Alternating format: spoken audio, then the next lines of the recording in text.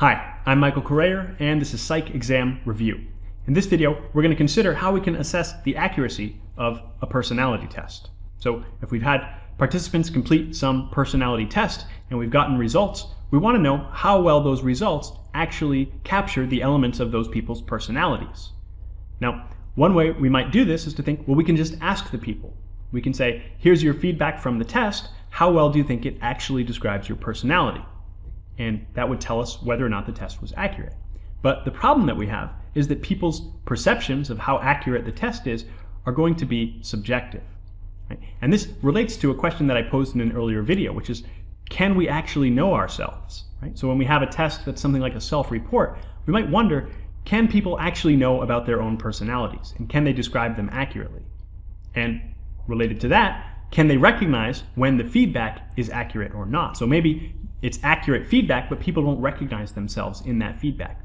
Or maybe the feedback isn't accurate, but people think that it is. So some research on this was conducted by Bertram Forer in the late 1940s. And so what Forer did was he had participants complete a personality assessment, and then he gave them feedback from the assessment. He said, here's a series of statements that we've found based on your assessment that we think describe you. And we want to know how accurate are these statements. And the participants rated these statements as being highly accurate. They said, these really do capture my personality. In other words, you have an accurate test. But you might expect there's a twist in this study, and the twist is that all of the participants received the same generic feedback. So they all got the same 10 statements regardless of how they completed the personality assessment. So essentially the assessment didn't matter at all. That was to make them think that they were taking a personality test, when really they all got the same 10 statements and they all rated them as being highly accurate. So to understand this, let's take a look at some of these statements. And I'll post a link in the video description where you can read Forer's original paper published in 1949. So here's a few of the statements. You have a great need for other people to like and admire you. You have a tendency to be critical of yourself. You have a great deal of unused capacity which you have not turned to your advantage.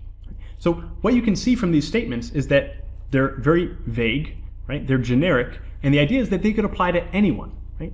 We, we all have a need for people to like and admire us. I mean, we're social animals and we are dependent on feedback from other people in order to just adjust our behavior.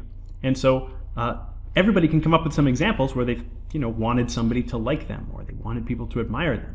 And we can also come up with examples where we've been we've been critical on ourselves, right? We all have a tendency to be critical because we all make mistakes. We all say things we later wish we hadn't said. We do things we wish we hadn't done. And because of that, we're going to have times where we're critical of ourselves.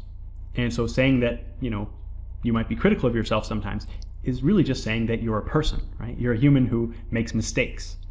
You have a great deal of unused capacity which you have not turned to your advantage. This also seems to be true. It seems no matter how much you accomplish, you always feel like you could accomplish more. And so as a result, you're going to feel that you're not living up to your fullest capacity at all times. And so, of course, people will come up with different examples in their own lives of how that statement seems to be true. Okay, so what we can see is that people have this tendency to find personal meaning in vague statements. So we give this generic feedback and everybody kind of finds a way to make it true. And as a result, they think that the statement is an accurate description of their personality. So this is something we have to be careful about when it comes to assessing the accuracy of personality tests. We can't just rely on people's subjective ratings of how accurate an assessment is. And so this is referred to as the Forer effect, this tendency to find personal meaning in vague statements, uh, after Bertram Forer. But you'll also see it called the Barnum effect, and this is after P.T. Barnum.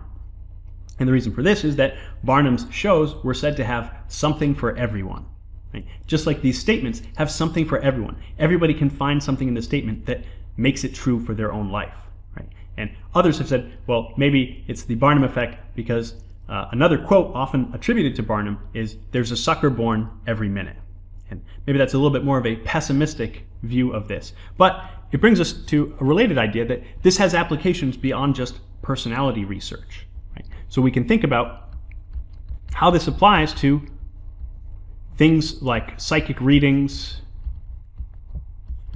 astrologers, and fortune tellers, right? Because uh, what these types of people do is they make hazy predictions, right? That might partially be true or might turn out to maybe seem true for one person and you know they don't make really specific detailed predictions right? And actually these statements that Forer used in his study actually came from astrology readings right? And so what they do is you make some very hazy predictions about what's going to happen and they're generic and vague and as a result whatever happens the person can find a way to connect it back to that statement they can find a way for it to seem personal even though it actually wasn't. And as a result, they'll become convinced of the idea that this fortune teller or psychic or this uh, horoscope is actually giving them an accurate prediction.